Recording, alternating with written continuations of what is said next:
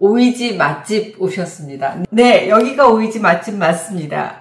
아, 한 5년 됐죠. 김소영 오이지 정말 많이 좋아해 주셨습니다. 이것만으로도 와 세상 그 어느 진수성찬 부럽지 않았다 이런 댓글 달아주셨어요. 오늘은 설탕 안 쓸 겁니다. 당뇨인 걱정 마시고 들어오세요. 아마 어, 평생 써먹는 오이지 레시피가 될 것 같습니다. 시작하도록 하겠습니다. 오이 100개 사왔습니다. 오이지용 오이는 지금이 바로 제철입니다. 씨가 생기기 전에 오이로 담아야 된다고 말씀드렸고요. 좋은 오이 고르는 방법. 꼭지가 지금 보시면 굉장히 싱싱하죠? 그러면서 여기를 보면 오이꽃이 안 떨어지고 이렇게 다 노란 꽃이 이렇게 붙어 있는 거. 이 오이지가 아주 싱싱한 오이지예요. 그리고 뚱뚱한 거 안 좋아요. 가느다란 흑침 오이를 저는 이번에 상주에서 구입했습니다. 흑침 오이가 뭐예요? 말 그대로 검은 가시가 볼록볼록 지금 엄청 많잖아요. 그러니까 이런 흑침 오이는 시반이 거의 없어요. 그리고 굉장히 단단해서 오이지용으로 참 좋습니다. 하얀 백침 오이하고는 좀 달라요. 백침 오이는 되게 부드럽고 좀 맛은 좋은데 시방이 엄청 크거든요. 그래서 쉽게 물러질 수가 있거든요. 지금이 딱 제철이니까 오이 많이 구입하셔서 1년치 담궈 두시면 됩니다. 저는 오이 100개를 이미 깨끗이 씻어서 물기 다 말려가지고 이렇게 해놨거든요. 보통 오이 씻을 때 절대로 저는 소금으로 박박 문질러서 씻지 마시라는 말씀 드려요. 왜냐? 소금으로 박박 문지르잖아요. 그럼 오이에 상처가 생겨요. 그리고 그렇게 되면 물러지기가 쉽고 부패되기가 쉽습니다. 상처 안 나게 살살살살 달래가면서 깨끗이 씻고 이렇게 물기를 제거해 주시는 게 중요합니다. 그리고 이 과정이 제일 중요합니다. 바로 물이 팔팔팔팔 끓는 맹물입니다. 이 맹물에 지금 깨끗이 씻어서 물기를 다 제거했잖아. 이 오이를 넣고 3초만 튀겨 주십시오. 한꺼번에 이 많은 오일을 놓고 튀기면 어때요? 그럼 안 돼요. 물 온도가 떨어져서 튀겨지지가 않고 이 하나씩 하나씩 이렇게 튀겨내는 과정이 생략이 되게 되면 쫄깃쫄깃하고 아삭아삭 오도독 식감이 없어집니다. 이게 포인트라고 할 수 있습니다. 어차피 물에 튀길 거니까 뭐로 물기를 닦느냐. 이것을 라이덴 프로스트 효과다. 우리가 이렇게 얘기를 하는데 오이 표면에 물기가 있는 채로 펄펄 끓는 물에 넣잖아요. 그러면 수증기가 생기면서 이게 단열막이 순간적으로 형성이 되는 거예요. 그래서 오이가 튀겨지지가 않습니다. 오이를 튀기기 전에 깨끗이 물기를 제거해 준 채로 튀겨주시는 거 꼭 기억하시기 바랍니다. 끝났습니다. 100개의 오이가 잘 튀겨졌습니다. 이제 촛물만 만들면 끝납니다. 간단해요. 간장, 식초, 설탕 3대 1대 1의 비율 그것만 기억을 하시면 좋습니다. 저는 오늘 설탕 안 쓰고 헤밀레 스위트를 쓸 겁니다.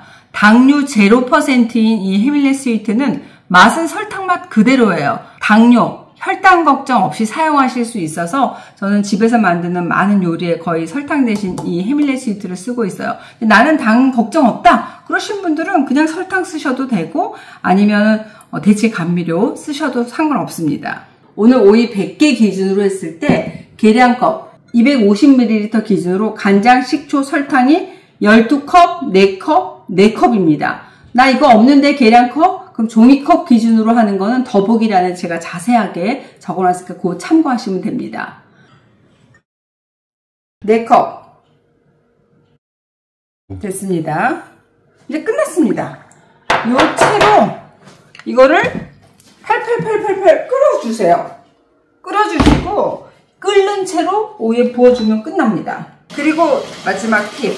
이제 끓일 때 저는 항상 월남고추를 넣어주는 게 아마 여러분도 이거 넣으시다 보면 와 이거 신의 한 수네 라고 생각하실 거예요 넣으셔서 같이 끓여주십니다 맛이 칼칼해지면서 이 월남고추가 맛이 맵잖아요 이 매운맛이 오이지에 스며들면서 이게 깊은 그런 감칠맛이라고 할까요 그게 우러나오는 오이지가 될 겁니다 지금 촛물이 끓고 있습니다 자, 끓일 동안 팔팔 끓는 상태로 넣어야 되기 때문에 저는 그 사이에 3초 동안 튀겨진 오이를 그릇에 놓도록 하겠습니다. 지금 보시면 다 끓었습니다. 이 끓은 채로 갖다 붓도록 하겠습니다.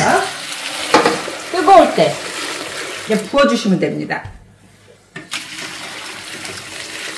이제 끝났습니다. 어? 근데 어떻게 촛물이 지금 절반도 안 됐는데? 걱정하지 마십시오. 3일만 누름도 꽉 눌러가지고 놔두잖아요. 오이 자체에서 쫙 삼투압에 의해서 물이 찰방찰방하게 올라와 있을 겁니다. 무게를 줄 만한 걸로 꽉 눌러 놓으셔야 돼요. 이렇게 해서 꽉 눌러 주시면 끝납니다. 3일 후에 보여드릴게요. 오일이 담근 지 3일이 지났습니다. 상태가 궁금하실 텐데 제가 보여드릴게요. 어머, 촛물이 부족하지 않았나 싶으실 텐데 이렇게 됐습니다. 아, 찰방찰방한 물 올라온 거 보이세요? 오에서 물이 쫙 빠져나오면서 삼투압에 의해서 내가 갖고 있는 수분을 간장한테 양보했네 하실 거예요. 오이를 밀폐 용기에 옮겨 담으세요. 어쩜 이렇게 꼬들꼬들 그냥 촛물을 다시 냄비에 놓고 팔팔 끓여줄 겁니다. 지금 팔팔 끓잖아요. 끓는 채로 이번엔 붓는 게 아니라 끓으면 불을 끄세요. 지금 오이지 100개 세 통에 나눠서 담아놨습니다. 완전히 식힌 촛물을 여기다가 부어주시면 끝납니다. 반찬 좀 먹고 싶다 그러면 딱 두 개 꺼내세요. 씻을 필요도 없습니다. 그렇게 짜지가 않거든요. 이 맛을 보시면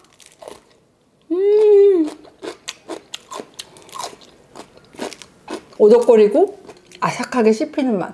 약간 매콤한 그 올랑고추의 맛이 잘 어우러졌고 난 좀 양념해서 먹고 싶다 그러면 송송송송 썰어가지고 파, 마늘, 참기름, 뭐 청양고추 같은 거 넣고 통깨가루 딱 해가지고 조물조물 묻혀 드시면 정말 오독오독 아삭아삭 정말 칼칼한 똑똑한 여름 반찬 김소영표 오이지로 집 나간 입맛 잡아보세요.